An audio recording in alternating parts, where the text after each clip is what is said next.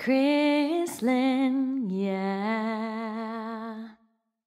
One happy birthday dot com.